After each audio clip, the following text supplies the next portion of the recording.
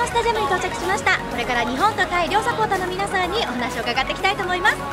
今日の試合のスコア予想お願いします、3対1です、は対、0で3対0はい。1対2でタイが勝ちます。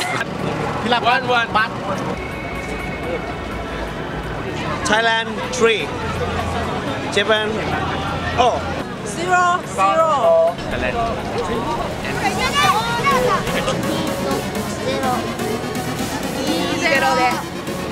say 3-0日本4点はい0点で日本が3点タイ0です得点者を原口元気。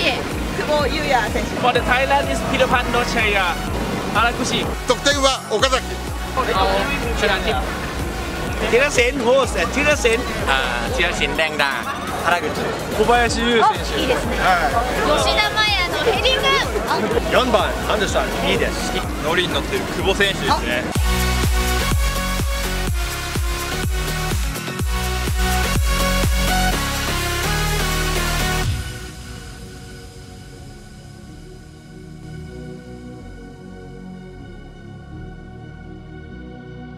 れからサポーターの皆さんに今日の試合の感想を聞いていきたいと思います。今日も活躍しました久保選手についてお伺いしたいんですけど今日の試合いかがでしたか久保選手は右サイドからガンガン出てすごかったです。ねかっこよかったクロスが良かったです。はい。対戦しました。タイ代表の印象をぜひお聞かせください。あの予想外強かったです。点数取られそうな何回もあってキラキラしてて。あと1点2点とか取られてもおかしくなかったなって。県タイが強いなっていう印象はありましたねやっぱタイも強いんだなっていう印象はハリル・ホジッチ監督で日本はワールドカップで勝てますかせーの勝ちます MVP from Thailand, right? I think it's Gavin, number one. Maybe one or two, yeah, can better Japan. I think it's okay. Next time, I think he has to prove our team for better to go to a world class like that.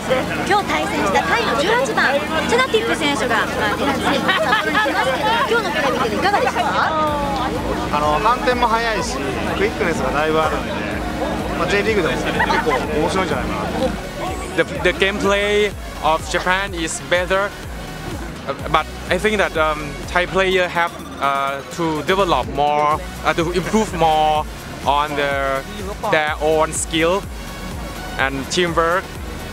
So, in I think I think we, we can we do best in this game and the future we can we have to to learn from from this game, learn from Japan, and get back to practice more than this.